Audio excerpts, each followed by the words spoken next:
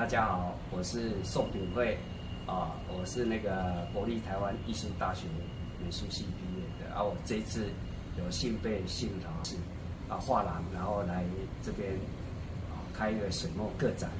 然后我的题目叫做啊那个最新最新城外，啊，那我也希望说，哎，请大家啊可以来这边欣赏我的所有的作品，啊，然后我的为什么会在取名叫最新城外？就是我的作品都是经过我个人感对美的一种感受，然后经过我个人的那个再重新去布局，啊，然后重新要把美的的东西把它内化以后，再把它呈现出来，啊，然后这个我希望说跟大家一起来切磋这个啊元素的那个水墨的东西，好，谢谢大家。